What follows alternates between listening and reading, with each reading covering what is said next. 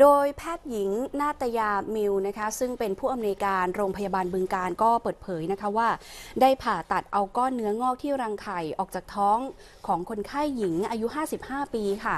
ซึ่งเนื้องอกมีขนาดใหญ่มากนะคะ น้ำหนักประมาณ 10 กิโลกรัม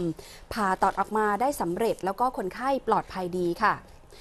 แพทย์หญิงนาตยาก็บอกว่าผู้ป่วยเป็นหญิงไทยค่ะ มีโรคประจำตัวก็คือเบาหวานและความดัน ก่อนหน้านี้พบความผิดปกติ ก็คือหญิงรายนี้เนี่ยท้องโตขึ้นเรื่อยๆ มาประมาณ 1 เดือน เธอก็เลยมาพบแพทย์ ตรวจพบถุงน้ำในรังไข่ขนาดประมาณ 20เซนติเมตรจึงได้ทำการผ่าตัดเบื้องต้นพบว่าเป็นถุงน้ำ มีส่วนประกอบเป็นน้ำ แล้วก็มีเนื้อเยื่อแข็งๆ ไม่เป็นอันตราย แต่เมื่อทำการวัดขนาดจริงก็พบว่า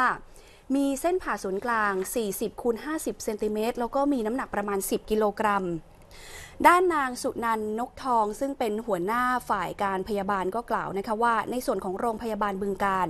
มีทีมแพทย์ที่มีศักยภาพในการผ่าตัด ซึ่งได้รับการยอมรับจากประชาชนทั่วไปค่ะ แต่ทางโรงพยาบาลก็ยังคงขาดแคลนอุปกรณ์แล้วก็เครื่องมือแพทย์ที่สำคัญอีกหลายรายการ จึงอยากจะขอเชิญชวนให้ผู้ที่มีจิตศรัทธา ร่วมการบริจาคเงินเพื่อสมทบทุนซื้ออุปกรณ์การแพทย์ ภายใต้ชื่อบัญชีเงินบริจาคโรงพยาบาลบึงการธนาคารกรุงไทย